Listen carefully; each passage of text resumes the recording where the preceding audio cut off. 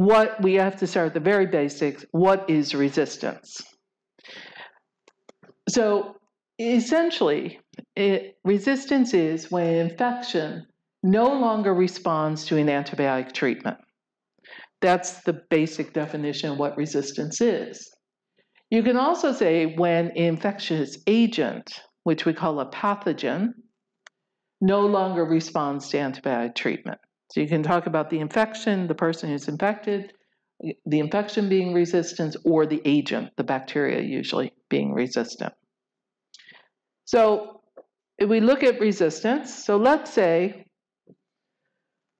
you unfortunately cut your finger and you got this cute little cell in there, this bacteria, which is going to find itself in a nice warm environment with lots of food. Well, what's going to happen is that bacteria is going to start to grow and divide and make more and more and more bacteria. So at this point, your finger is going to start to uh, show signs of infection. Usually it's red and warm, etc. Your immune responses start reacting. And you might go to a doctor because, say, I got a problem with my finger. Well, the doctor then might give you an antibiotic, shown here. The antibiotic, then, depending on what type of antibiotic, usually you take it orally, it will go through the bloodstream, it'll eventually get to your finger, and it will interact with the bacteria. And then one of two things happens. In this example, the bacteria are going to start to die. So they start to disappear. So the infection starts to go away. But there's this guy here. That one is still remaining. That one is an antibiotic resistant bacteria it essentially doesn't care. It sees the antibiotic, it's there, but it doesn't interact with the cell in the same way. That cell then, now everybody else is dead, this cell can start to grow and divide. And you start to get more and more bacteria again. So that's one way in which resistance can arise. The cell either pre existing or is um, evolved to resistance during an infection. So that's our first definition. What is resistance? Now I want to change a little bit and talk about how serious is this problem because we see a lot of scary headlines about a lot of things. But I'm going to give you a few examples here, and I'll talk more next week. Here's a quote from the UK, from the chief medical officer, who said that modern medicine, as we know it, if we don't halt the rise of resistance, will be finished. And I'll go into more what she means here. And the WHO, uh, the World Health Organization, said without urgent coordinated action, the world is headed for a post antibiotic era in which common infections and minor injuries, which has been treatable for decades, once again can kill. So these are two very reliable sources that sound very scary. There was an estimate made a few years ago about the number of deaths due to antibiotic resistance we could expect in the future. And shown here is the number of deaths now due to antimicrobial resistance. I'll come back to that definition in a few minutes. About 700,000 is the estimate, but this is a low estimate because many parts of the world we don't have good data about this. You can compare that to, for example, cancer, which is about 8 million, and then these other diseases here. They made a calculation that by the year 2050, if nothing is done, and that's a key phrase there, if nothing is done, they estimate that the number of deaths due to antimicrobial resistance will rise to 10 million per year. So, this again is a very scary number. Uh, some, I'm going to give you a few other examples. In Southeast Asia, it's estimated that 98,000 newborns die each year due to bloodborne infections from resistant bacteria. In the EU, it's estimated that there are about 225,000 uh, deaths per year due to antibacterial resistance at a cost of 1.5 billion euros. So it's an expensive problem as well. In Sweden, we are relatively well off as far as uh, antibiotic resistance. Uh, we have good healthcare, etc. But even in Sweden, if you look at uh, this is one type of resistance called ESBL, which you'll hear much more about soon. Uh, between 2000 and 2015, you can see that the numbers are rising rapidly. And this little star here means that in 2015, there were actually 43 cases in Sweden of so called ESBL carba, which is resistant to yet another antibiotic that is a last resort antibiotic. So this looks very, this numbers are very low, but the pattern is scary. So what does it mean if we don't have antibiotics? I mean, uh, you can imagine you probably your finger would probably be okay if you got an infection like that most of the time, etc. But a lot of modern medicine depends on the use of antibiotics.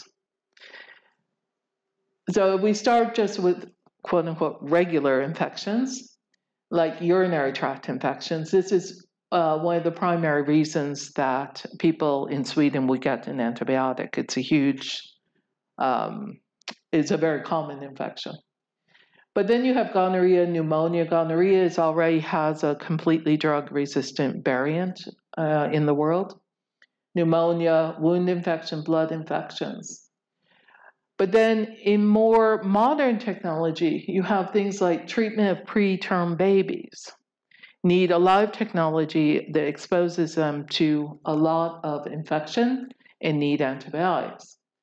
Hip replacements, for example, inf um, infections are common and antibiotics are used. Complicated deliveries of uh, babies, organ transplants, cancer treatment, etc. So, a lot of different kinds of treatments uh, depend on the availability of antibiotics to be able to treat, be able to, to be available. So, now I have a little thought question for you. They'll uh, let you take a minute to discuss with your neighbor. How did antibiotic resistance become such a problem? Based on what you know already, what do you think? So discuss for a minute and I'll take a few suggestions and I'll show you my list.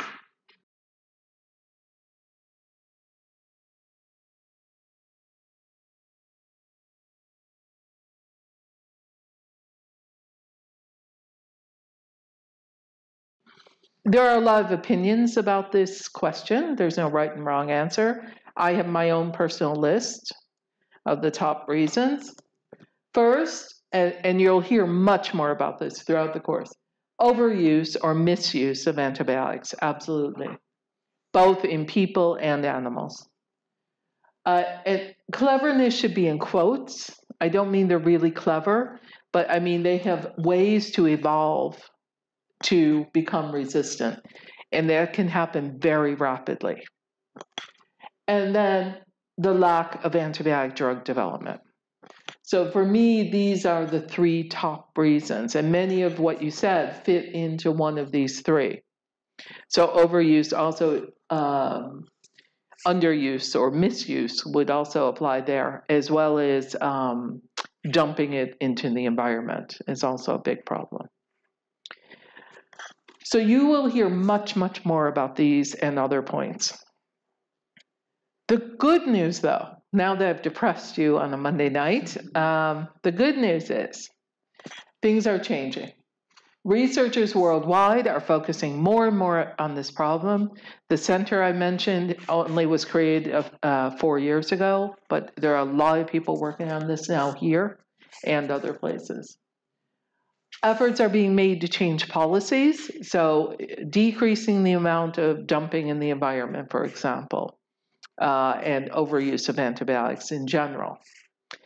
And then this course was created because we want to spread awareness. We want to let people know about this problem and give you ideas of what you can do or what you can support your politicians from doing.